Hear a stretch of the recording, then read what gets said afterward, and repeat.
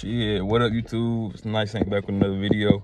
Uh, this video gonna be about how, well, I guess my mistakes and I guess where I came up short in with my spiritual like journey, or just many mistakes or common mistakes I think that a lot of people would make in their journey and trying to spiritually evolve. Uh, like I said, I'm not about to waste no time. I'm about to get straight to it. Uh, I think one mistake I make is, like I said, I think a lot of people make mistake is hopping from thing to thing uh, I know personally that I want to get in tune with just nature just be in nature more, just be able just to be able to get replenished by nature. But like I said, the thing about me is I'm I'm all over the place. I'm all over the place with learning just like just magic, sigil magic, uh learning some like some of the Wiccan stuff, uh some things in terms of just like the altar work and just uh, lucid dream and astral projection. There's all these many sections that go into their own little concepts and deep dives.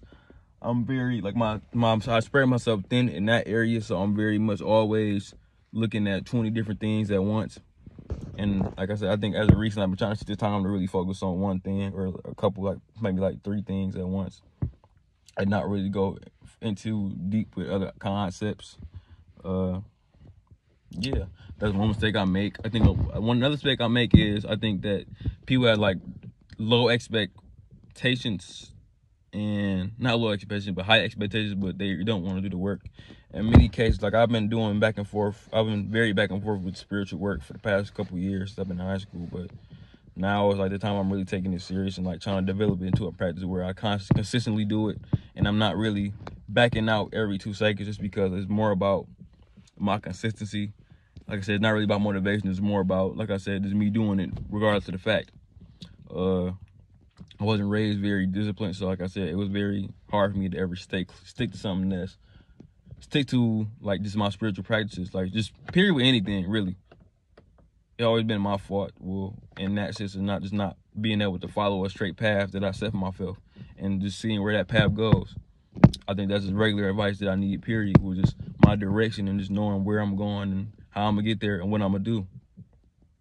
So, and that's one way that I think that I make a mistake in my spiritual journey is, like I said, my indecisiveness is probably like one of my main weaknesses. And it's the fact I gotta understand that I need to be more decisive and just stick, choose something and stick to it and have a plan going through, following through with it. I think that's the common thing, like I said, because let's say like a ritual don't work or just, just working, trying to trying to do something for a, a, reaction, like I said, and like I said, I stop on the first try. It's like I think it was a quote that that Yoda said it was about like a what's the difference between like a master and a beginner, and a master has tried more times than the beginner has failed, and I think that's something that resonates with me a lot. Like I said, it's just with life period. I very like I said, I try something once and I give up on it, and like I said, and that's probably where a lot of my fails in life come from. Like I said, I just I'm very I give up on things a lot easy. I think this is how I am with how I was with life. Like I said, I don't really forced to do it no more now, just because like I said, I'm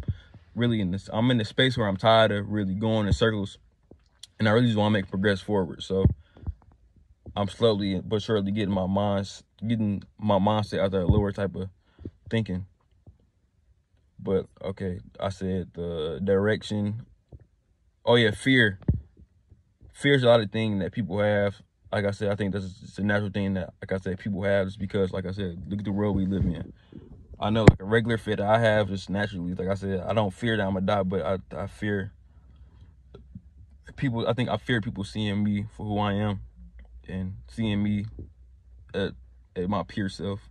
And I think that's probably where, like I said, that's only that's the only way I can ever be liberated from myself is that I'm I'm I'm I'm I'm stuck to fear. I, I fear that people I fear that people gonna judge me. I fear that I'm I got fear of rejection. I got fear in my own heart. I got I doubt myself, knowing I shouldn't be doubting myself.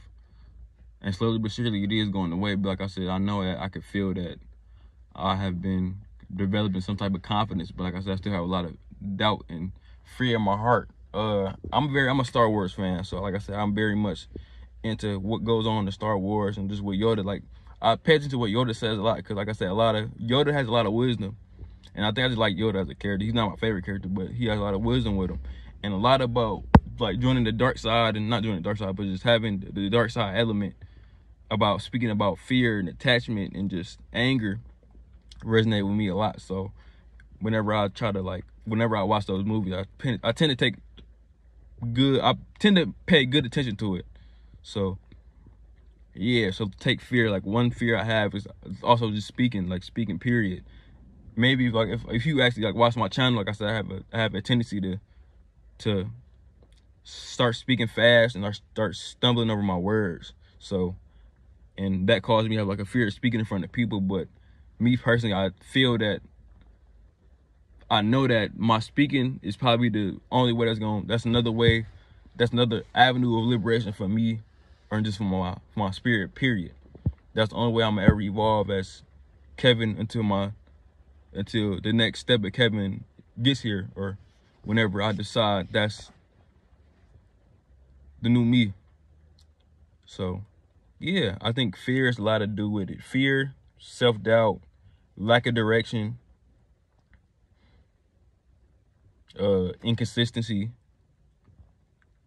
and one thing, and I think it's just always been aware. So I, always, I think I like I always try to be on top of like what going on in my head, what's going on in my head, but or my well the world relationship with me and not my relationship with the world.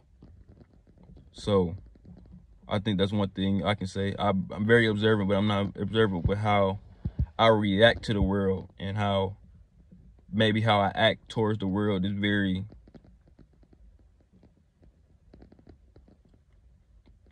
uh blocked off, let's say that. And I think that's probably where my journey is and my destiny is. like I said, in the fear. I think people said like whatever whatever you want is on the other side of fear. And like I said, I think once my like I said, whenever my fear subsides, like I said, the world is technically mine. And I think and I said that in the truest